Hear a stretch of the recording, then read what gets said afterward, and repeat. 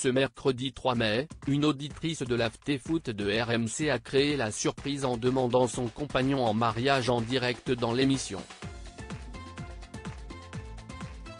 Une première pour le présentateur Gilbert Bribois et ses chroniqueurs. Diffusé ce mercredi 3 mai sur RMC, le dernier numéro de l'After Foot était placé sous le signe de l'amour. En fin de soirée, Gilbert Bribois a laissé la parole à Émilie, une auditrice qui avait un message très important à faire passer à son compagnon, fan de l'émission. J'ai rencontré il y a un peu moins de deux ans un homme formidable.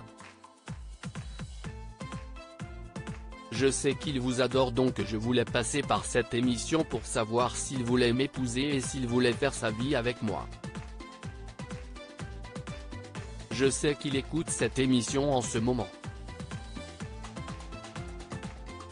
Il s'appelle Jérémy, a-t-elle déclaré, la voix tremblante. De quoi créer la surprise sur le plateau, qui est habituellement la scène de classe. C'est une première dans l'after. On est ravi que tu sois passé par nous, a lancé le présentateur du programme. D'habitude, l'AFT a plutôt tendance à déchirer des couples alors qu'il se trouvait dans une pièce à côté, Jérémy s'est empressé de rejoindre sa compagne et de l'embrasser à plusieurs reprises, comme ont pu l'entendre les auditeurs.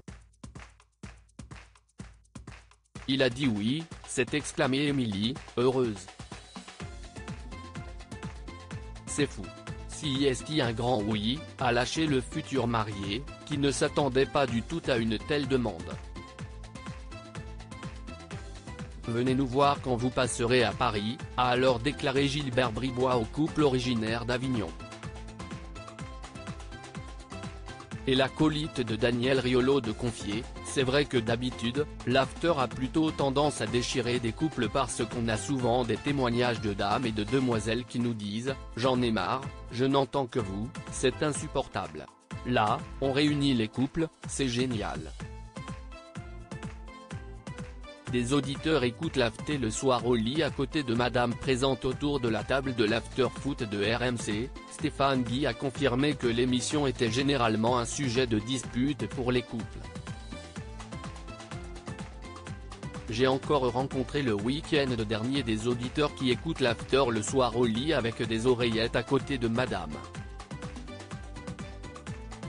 Moi, je trouve ça incroyable, mais c'est la vie de chacun, a révélé le chroniqueur. Pendant des années, ce que vous décrivez là a existé.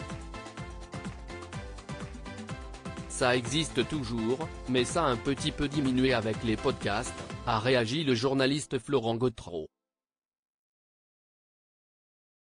De son côté, Jérémy a confié qu'il écoutait toujours l'émission dans sa voiture, sur le chemin du travail. Félicitations aux futurs mariés, Bag, une demande en mariage en direct dans l'AFT. Félicitations à Émilie et Jérémy, tous nos vœux de bonheur. Pic twitter.com slash fvitoe, afterfootrmc aftermc, May 3, 2023 à lire aussi c'est ma deuxième femme, Daniel Riolo très proche de Gilbert Bribois avec qui il co-anime l'afterfoot sur RMC.